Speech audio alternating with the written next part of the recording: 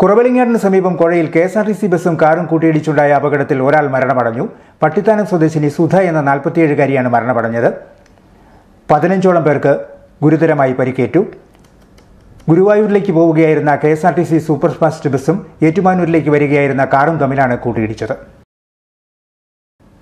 കുറവലിങ്ങാടിന് സമീപം കോഴയിലാണ് കാറും super fast ബസ്സും തമ്മിൽ കൂട്ടിയിടിച്ചത്. കാർ യാത്രികയായ പട്ടിത്താനം സ്വദേശിനി സുധ എന്ന നാൽപ്പത്തിയേഴുകാരിയാണ് മരണമടഞ്ഞത്. ഗുരുതരമായി പരിക്കേറ്റ ഒരാളെ കോട്ടയം മെഡിക്കൽ കോളേജിലും മറ്റ് മൂന്ന് പേരെ കാരിത്താസ് ആശുപത്രിയിലും പ്രവേശിപ്പിച്ചു. പതിനഞ്ചോളം പേർക്ക് പരിക്കേറ്റിട്ടുണ്ട്. കോഴ വട്ടൻകുഴി വളവിൽ പന്ത്രണ്ട് മണിയോടെയായിരുന്നു അപകടം. ഗുരുവായൂരിലേക്ക് പോവുകയായിരുന്ന K S R T C superfast ബസ്സാണ് ഏറ്റുമാനൂരിലേക്ക് പോവുകയായിരുന്ന കാറുമായി കൂട്ടിയിടിച്ചത്. മറ്റൊരു വാഹനത്തെ മറികടക്കാൻ ശ്രമിക്കുന്നതിനിടയിലാണ് അപകടമുണ്ടായത്. നിയന്ത്രണം വിട്ട car K S R T C superfast ബസ്സുമായി നേർക്ക് നേർ കൂട്ടിയിടിക്കുകയായിരുന്നു. നിയന്ത്രണം വിട്ട K S R T C bus റോഡിന്റെ വലതുഭാഗത്തെ മതിൽ ഇടിച്ചു കയറുകയായിരുന്നു. ഞാൻ വന്നപ്പോൾ ഞാനിവിടെ വീടിന്റെ പണി നടക്കുമായിരുന്നു അവിടുന്ന് ഓടി വന്നപ്പോഴത്തേക്ക് വണ്ടി ഇടിച്ച് കിടപ്പുണ്ട് കാർ ഇവിടെ. ഈ രണ്ട് വണ്ടി ഇടിച്ച് കിടപ്പുണ്ട്. കാറിനകത്ത് നാല് പെണ്ണുങ്ങളും പിന്നെ ഡ്രൈവറും.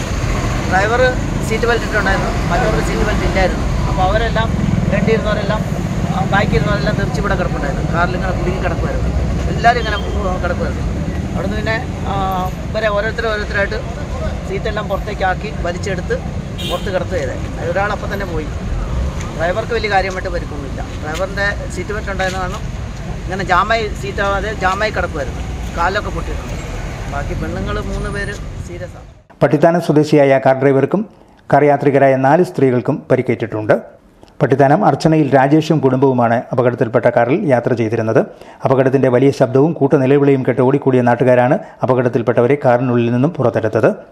Starvision news Ettumanoor.